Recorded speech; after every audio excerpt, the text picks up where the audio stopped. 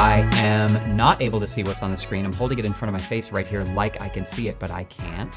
When I unlock the screen here and turn on my speech, I can touch the screen. And instead of activating something that I touch with my finger, it will read it to me and tell me what it is. And if I want to activate it, I touch the screen twice quickly to activate it.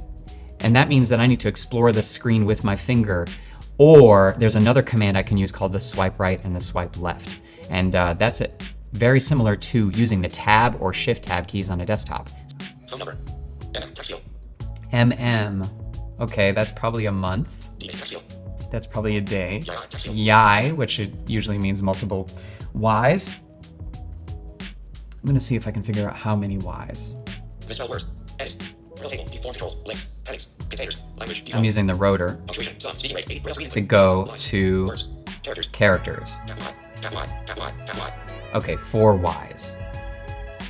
There's, again, there's only so much you can control about how the screen reader pronounces Y, Y, Y, Y, but you can certainly label these fields. I'm experiencing, as an assistive technology user, your website differently than a visual person would, but they're part of the same code base. It's the same website. When you invest in accessibility, you're to find a lot of things with your website that you didn't even know were issues for everybody.